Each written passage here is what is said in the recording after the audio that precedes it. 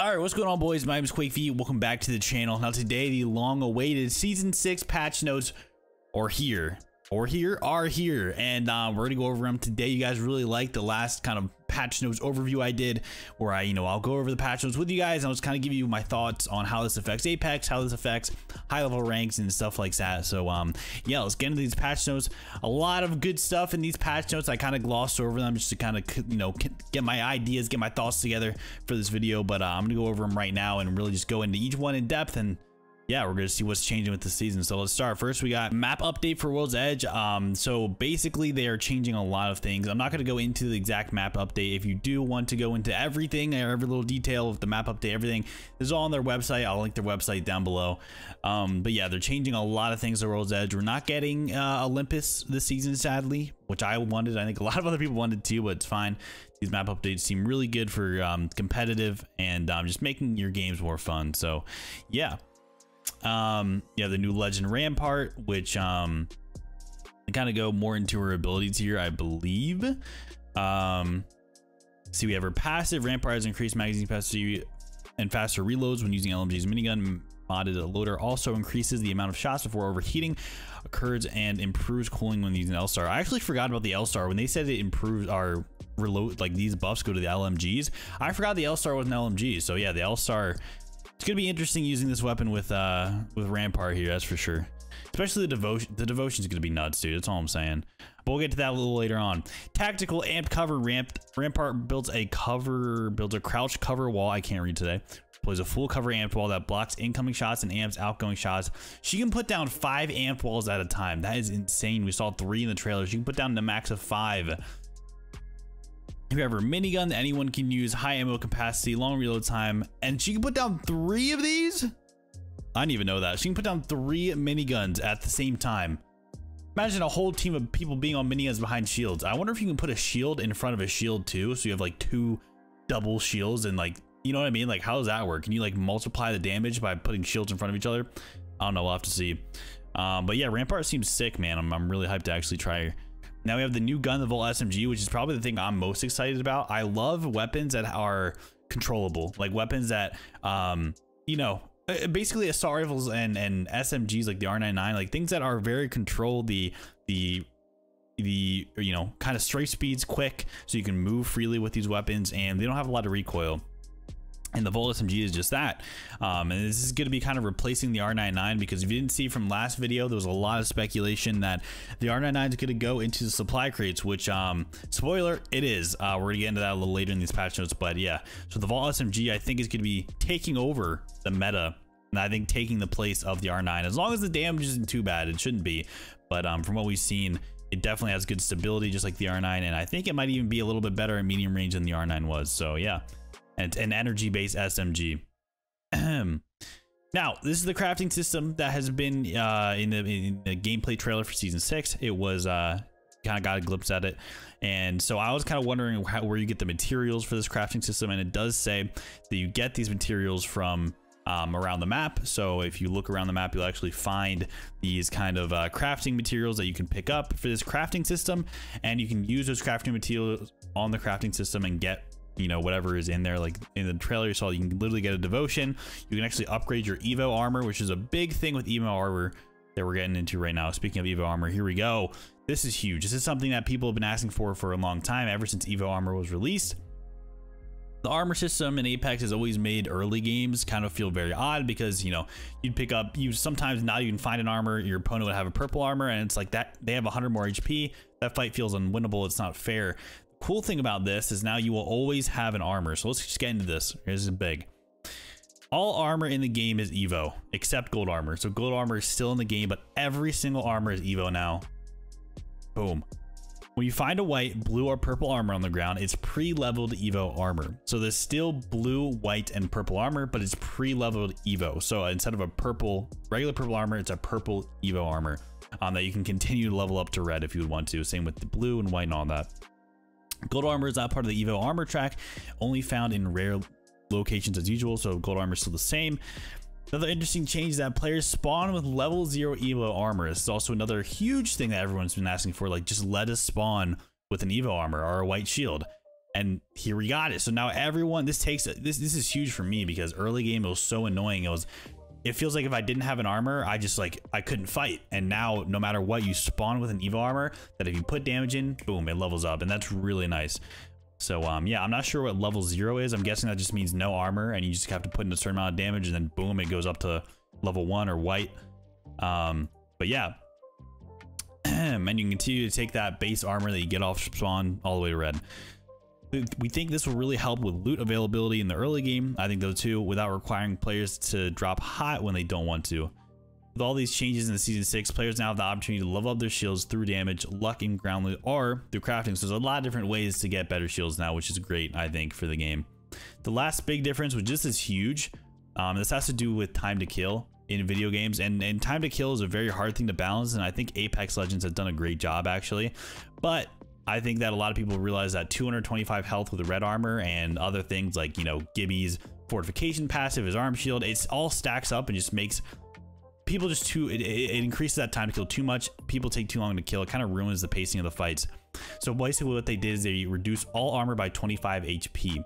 So that means that every single armor is now reduced for 25 HP. So white armor starts with 25 health, blue armor starts with 50, um, purple 75, and then red is the only armor in the game that can now give you 100 more armor right so um yeah big change and i think it's definitely good for the game and um, gold armor also gives 75 extra armor if you're wondering same as purple um, new damage requirements. I'm not sure if these were lower or higher than what Evo used to be, but these are definitely not hard. Doing 250 damage is very easy. So if you were to get a, you know, you could literally, since you get an Evo armor off drop, you could do 250 damage so easily, like in a singular fight, not even a just like a half a fight, honestly, if it's kind of like a poke fight and instantly boom, purple armor. And I think this is great for the game because um, I think R having RNG dictate how much HP you have in a gunfight is really annoying. So now you have a lot more control over that, which I like. So um, yeah, and then damage to red is 500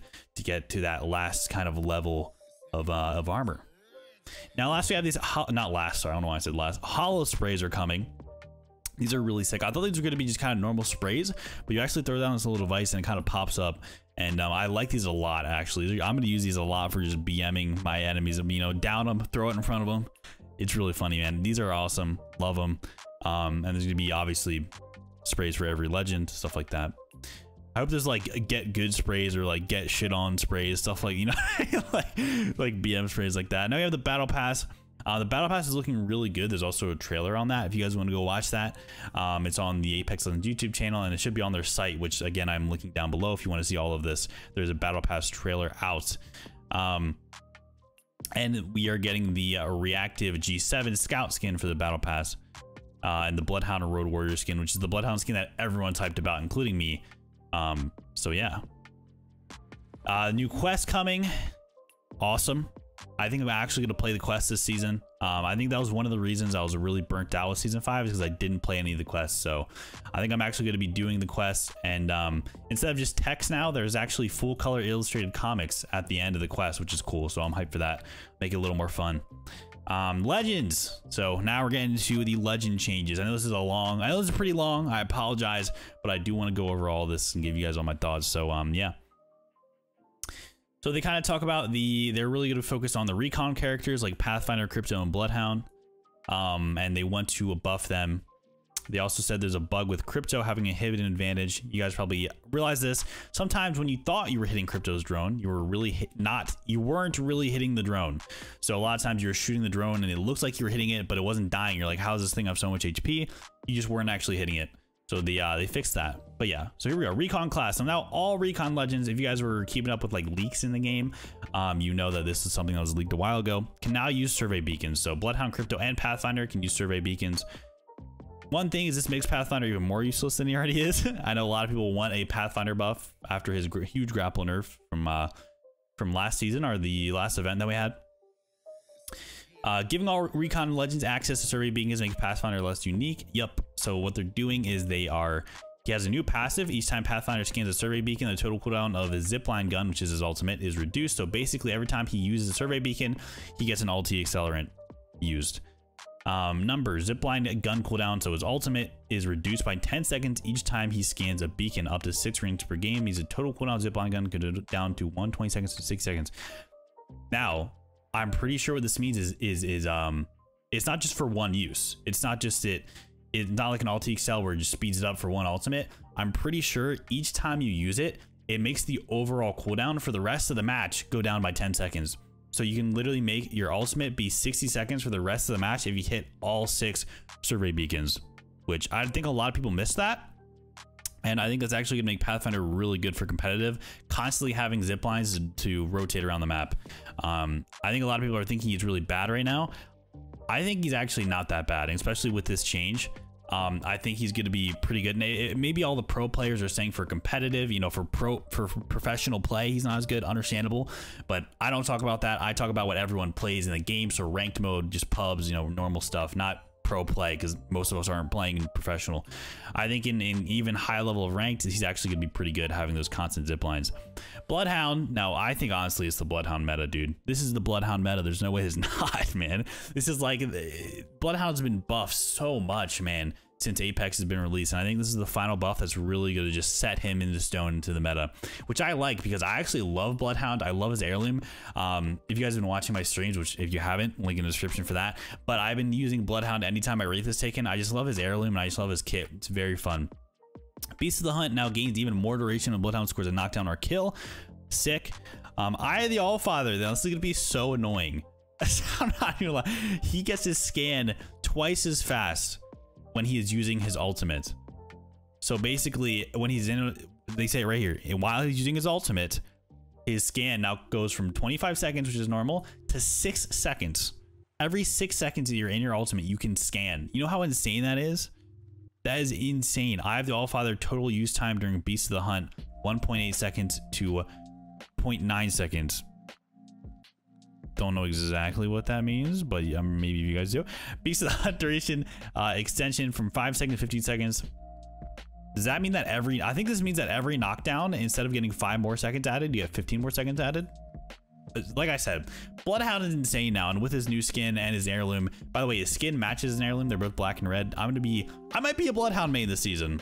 Not even gonna lie, might be. Um, Crypto. Crypto, uh, he's not looking good. Crypto is a particularly interesting recon character. The amount of information he can gather for his team with his drone is very high, but the fact that he has to switch over to his drone leaves him vulnerable and often not a reasons for his team. Because he has no abilities without his drone, we figure there's room for even more power when he's in his drone. Okay, surveillance drone. Crypto can now activate respawn and survey beacons. So Crypto can now respawn teammates with his drone, which is big for ranked.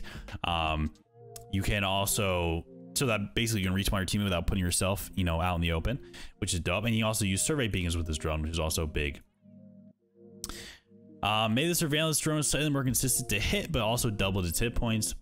It was easier to hit his crypto EMP, his crypto drone, but it also has more HP now. Drone EMP. So this is the bad thing. So is EMP is really what made crypto viable, to be honest, at least in high level rank. Like, like I said, I'm not talking about professional play here. Um, there's a lot of pro players who will talk about that. For me, I'm just talking about ranked mode, high level ranked, and just pubs. Um, in high level ranked, what made him good was his EMP. And um, now his EMP will slow teammates caught in the blast. So basically, you can't push with crypto EMPs anymore because if you're not already in the radius when the EMP is happening, by the time you get to them, like if you were to wait outside of the EMP radius and then push in on the team, they would already be full HP by the time you got there, realistically. So um, you really can't do EMP pushes anymore. And obviously, you can, as I said you can't use Revenant's Death Totem either. You um the only the only thing that might be a strat is using Wraith Portal to counter this. You kind of Wraith Portal right next to the enemy, EMP them, and then your both your teammates go in right after the EMP goes off. So that's possible, but really hard to set up practically. So I don't know how that's gonna do. Um, surveillance drone increased from 30 HP, 60 HP, and the hitbox was bigger. Revenant. Revenant obviously very annoying to a lot of high level comp players and pro players. Um, so they did some changes to them. We're happy to see that dropping the range restriction on Death Totem brought a lot more revenants into play, but we've been watching a particularly frustrating combo play out in professional play involving a squad of Revenant Wraith and Crypto. Everyone hated this this comp.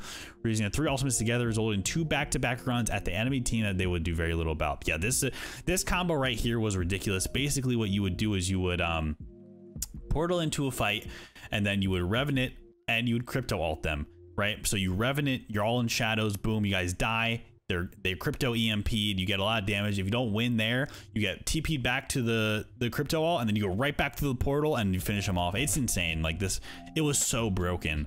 So I'm glad they they nerfed this.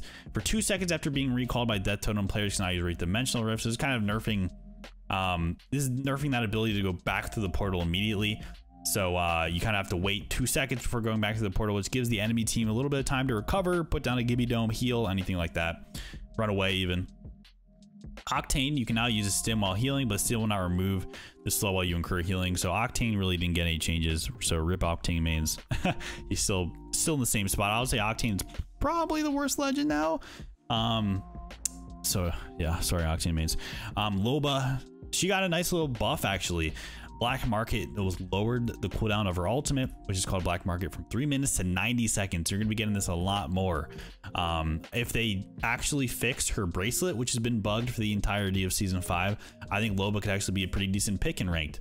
So um, yeah, Loba mains should be happy about that. Gibraltar Defensive Bombardment uh, got nerfed Gibraltar is still a little bit too strong, so they nerfed him.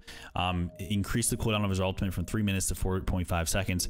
Bangalore got a buff, which everyone was asking for. Sadly, I don't think it's what people were really looking for. A lot of people are looking for like a rework with Bangalore. Um, but this is something. Decrease cooldown from 4.5 minutes to 3 minutes. Honestly, I think it's very hard to buff Bangalore at the moment or even rework her. Um, so I think this is a fine change for now until maybe the community gathers up some better ideas or Respawn gathers up some better ideas. Um, so yeah, hopefully that's a nice little change to Bangler mains. Wattson interception pylon. This is pretty crazy. So uh, everyone hates caustic barrels, and they've put multiple ways in the game to you know change caustic barrels from you know having as much as impact as they originally did. First, they made it so that you can actually shoot the caustic barrel for the entirety that it's kind of gassing up, that it's expanding and kill it. Before you could only shoot the little bottom or you had to wait for it to expand fully and then shoot it. Um, but now you can completely shoot it when it's kind of filling up and it'll just it'll kill it instantly. And Wattson's Pylon will shoot down caustic barrels if they are in like mid-flight, just like they would his ultimate, which is crazy. So I think nice little Wattson buff here. And I think uh, this is going to take Caustic pretty much out of the high-level meta. I think you can still definitely use him, but um, I don't think there's going to be as many people using him at high levels or ranked. Loot! All right, they added energy mags back. They added turbocharger uh, hop up back. I'm, I'm not sure if that's going to be back on the Havoc or not, but it will be on the Devotion, which is coming back. Extended energy mags are coming back. Let me just tell you right now, energy weapon meta. The Volt, the Devotion, the Havoc, which is actually buffs to the Havoc that we're going to see in a second here energy weapon meta man and uh, there's some other other weapons that are worth speaking about that we're about to get into right now but let me just say the energy weapons are going to be insane updated precision choke removed precision choke from the loot pool great and now they're just automatically on the triple take and the peacekeeper by default and you can toggle it on and off and like I said, R9 is now actually being put into supply drop. Like I said with the last video that I put on the channel, um, a lot of speculation this thing was going to the supply drop. Boom, now it is, and like I said, I'm a big advocate for this change. I think it's going to make the meta very diverse, and it's going to bring a lot of new changes to the game that are needed. Um, now, like every time they put a weapon into supply drop, it has to be a legendary weapon. So they did uh, buff the R9 for it to be a legendary weapon. Damage increase from 11 to 12 per shot. Increased magazine magazine seat. Jesus Christ. Magazine size to 32 Ammo reserve 160. That's not a lot, man. You're gonna pick this thing up and run out of ammo real quick. So um, yeah, but R99 is the drop now. I kind of wish this was like double this, like 320. That would have been nice. But um, yeah, R99 is now a legendary weapon. Devotion clip size reduced back to original values. It's the only thing they did to Devotion. Only thing they did to Devotion when they put it on the ground is they just reduced the clip size a bit. Devotion's going to be insane. All I'm saying, Devotion behind Rampart Shield with amped bullets, it's going to be nuts. That's going to be the meta right there. I'll just tell you. Um, new gold weapons, Devotion, gold weapon, massive gold weapon, Triple Take, gold weapon, Flatline, and for my most favorite, the Volt is getting gold. And I'm so, like, I'm actually just so excited to use the Volt. I don't even care if it's bad. As long as it feels good, I am down, dude. I'm going to use the heck out of this thing. Sniper ammo. Uh, this is nice. Increased pickup from 8 to 12. You get 12 per stack instead of 8. And increase the stack size 16 to 24. Also kind of nice. Um, energy ammo. Reduce the amount you picked up from 30 to 20. That's dope. Um, Hemlock. Hemlock meta baby. I think that the the energy weapons, at least the the the Volt and the Devotion and the Hemlock are going to be insane this season. Reduce vertical recoil in burst mode. Already insane. though. I mean, it, depending on how much they reduce the vertical recoil, this thing could be like the next Havoc of mid range. Like when the Havoc had no recoil, you just beam people at mid range. Hemlock, it might just be that. Uh, slightly reducing the recoil pattern in second to third shot.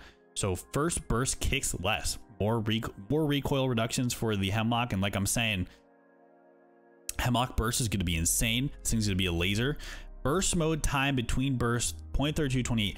This buffs the fire rate of burst mode. So not only is it going to have a lot less recoil, it's also going to have a higher damage per second. The Hemlock is going to be insane. So insane. All I'm saying, man. Hemlock mains, I love the hemlock, by the way. I'm glad it's I'm glad it's gonna be meta. It's gonna be meta. Charge rifle. I'm not. I don't. I don't want this gun to ever be. I just want this gun to be removed, to be honest. But they're buffing it. Uh, when I use two ammo per shot, increase mag size of four to eight. Actually, I don't even know if this is a buff. It's actually the exact same. So never mind. Um, but yeah, triple take buff. This is cool. Increase fire rate from 1.25 to 1.4. Nice. Increase mag size from five, five six seven eight to six seven eight nine. Uh, built the chaka built the choke hop up into the weapon by default. Uh, we already went over that. Same with the PK, same thing. Spitfire improved recoil controllability. That's interesting. It means the Spitfire is going to be a little bit easier to uh, beam people with. Havoc. Um, I didn't like the changes to the recoil on the Havoc at all when they made them. Um, so I'm glad they are doing this. Updated Havoc with a new recoil pattern. This is I, this is exactly what they needed to do. The Havoc's existing recoil pattern had a constant horizontal movement, which made it like impossible to shoot people unless they were right in front of you. Uh, this means it would either be too difficult to control, or if there was too, or there was too much recoil, or far too easy to control, and there was too little recoil, which we saw both ends of that. So they updated it to a new a new pattern, new recoil pattern, which is more consistent in style with existing recoil patterns. So Havoc will have the same recoil but it's going to be a little bit more easier to control. Um, Mozambique, now this is actually really funny. I like this. Mozambique increased from three to four, dude. Mozambique might be an actual viable secondary if you find those hammer points now with four bullets per shot. I like this a lot. P2020 increased damage from 13 to 15, so base P2020 will be a little bit less useless, but they also decrease hammer point damage multiplier, um, which will make the hammer point P2020 damage the same, but it basically increases it like off drop because it was so bad when you just pick it up without a hammer point. So this is nice. And they increase the magazine size a bit. Um, Sentinel only requires one shield cell to charge if the player has gold armor. So if you your teammate has a Sentinel, pass them the gold armor, it would help them out. Prowler. Now, uh, everyone who likes Burst Prowler, I don't like Burst Prowler. Everyone like yells at me when I say I don't like it and I think it's bad. But um, it's getting a recoil, it's getting reduced recoil when it's in Burst mode, the Prowler. Um, and when it's in full auto mode, it's getting uh, added horizontal recoil to make it a little less of a beam. I'm fine with this. Um, Burst Prowler is also kind of in, already insane up close. I'm curious how it's going to be like medium range now. Uh, we'll have to see, I guess. Quality of life. Supply drop weapons are now heirloom tier. This is actually kind of cool. I like that. To avoid confusion with fully kitted weapons, which will remain gold. World's Edge received performance improvements, especially around the tree, the dome, skyhook, looking towards the center of the map. So this is really nice. So World's Edge will get more FPS, more frames per second now, hopefully on World's Edge. Alterations were made to the ring to prevent late zones from centering on unplayable terrain and reduce the pre predictability of the zone's pull. So um, they basically are making there was a lot of rings where there would just be a huge mountain in the middle of the ring that you so people were just kind of like stuck and didn't know where to go. So they fixed that, but they did reduce the predictability of the zone's pool. And let me tell you this right now, this adds RNG to the game and I think a lot of high level ranked players, a lot of professional players aren't going to like this because what made predictable zones good was that it made it so teams that put in the time uh, to really see all the zones and memorize these zones had the advantage. But now it's just kind of like any team that just gets lucky from the zones pool wins and as that RNG factor that I think a lot of people won't like. So I think this was actually a bad change, but um, hopefully they realize that and put it back to more predictable zones, which I think is better for high level comp play and high level professional play. Um, bug fixes. There's a lot of them, man. But there's a lot of bug fixes here. Uh, if you want to go through all of them, feel free to do so. Um, I'm not going to go through all of them just because this video is already probably ridiculously long. But yes, that is the season six patch notes. Crazy, man. A lot of crazy stuff. Oh, one last thing I almost missed uh, with the crafting system here. Um, yeah, there is a big change that I don't know how this is going to play, but this will literally allow Respawn to just change the meta how they like. Um, right here it says loot that is in the rotation on the crafting system. So as you guys know, when you open up this crafting thing, there is a rotation of weekly, um, I think daily, even hourly um, loot that rotates. And it says right here that loot that is in the rotation of the crafting system will not spawn on the ground. So that means if the, like they said here, if the R301 and the Anvil receiver are inside of this for however long, say a week, it's not going to be on the ground. So the only way you can actually get it is by crafting it in here. So if there's ever a weapon that's too OP, say like the charge rifle was when it first came out, boom, they can throw it in here. It's not on the ground. Will be a lot less than them in the game but also it will just diversify the meta a lot by constantly it will literally make it so there's constantly just like certain weapons that might be meta just won't be in the game unless you go to these crafting systems which is huge so yeah these crafting systems are going to play a huge role in the meta of uh, of season six for sure but that's everything. This video is going to be so long. I already know it. Uh, everyone who watched all the way through, I appreciate you guys. If you're hyped for season six, make sure you go down below, hit that like button, subscribe to the channel, leave a comment what you guys think. This is all insane, man. I don't even know. Like, the season six is going to be completely different. It's going to be so refreshing, and I'm so hyped to make content for this game and just play the game and grind it again. But yeah, boys, that's it for today's video. Thank you so much for watching. Like I said, I'll be having a new video very soon on season six. It is dropping um, early early tomorrow for me. It's dropping actually today at 10 p.m pacific time. So for me that's 1 a.m um, eastern time. So um yeah i will be having a video up very late tonight. So get ready for that on season six. But yeah that's it for today's video. I'll see you guys next one. Thanks for thank you so much for watching. This has been quake. Peace